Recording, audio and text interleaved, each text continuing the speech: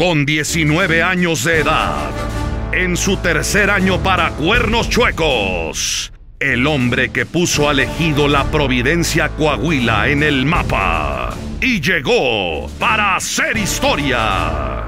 Actual campeón para Cuernos Chuecos 2016, Francisco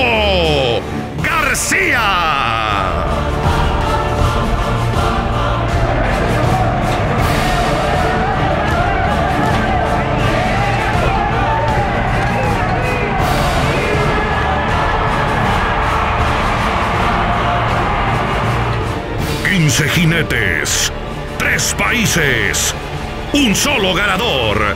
Cuernos Suecos Gran Final.